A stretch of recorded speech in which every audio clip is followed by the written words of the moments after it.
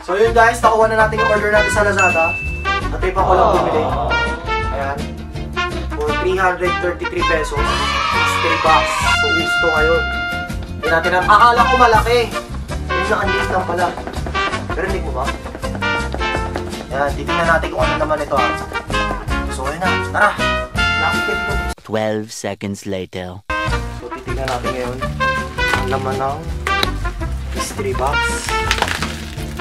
Day 4. Effortless shopping. Oo nga, ang bilis. Napansin ko lang. Napansin ko. Itong mystery box, ang bilis i-deliver. So wala pang 3 days. Deliver na agad. So yun natin na natin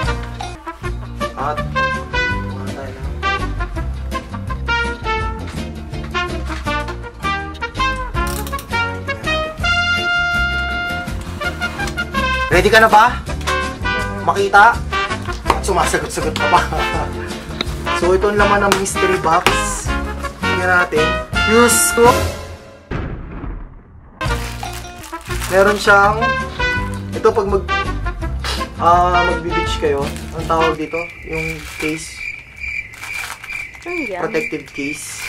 Sa cellphone to. Mga nakuha natin. Tingnan natin dyan. At USB card reader. Ay, Diyos ko, kakabili ko lang. Sayang, ito, eh, nakabili ako. 70 pesos.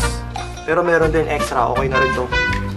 At, meron ding flashlight.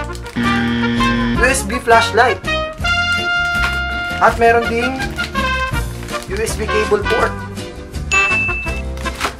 Tapos meron ding universal earphone. Kala ko Mercedes-Benz. At lastly, meron siyang gamepad. Android iOS. Tignan natin. For 333 pesos to lahat guys ha, sa Lazada. Yan. Kita mo ba lahat? Yan siya lahat. So, mapapakinabagan ko lang dito. Itong USB. Ewan ko itong... Ito! Hindi ko alam. For 333 pesos. Ito, hindi naman ako masyadong nag-game sa cellphone. So, ayan. Ko, ano ba ito? Bad. Wala man man siya. Battery na kung ano man.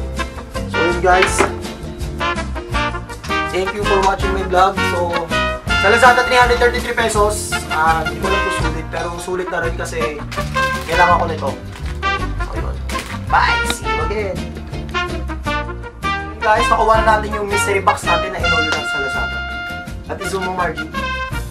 Yan, for 333 pesos. Tingnan natin kung anong laman ito.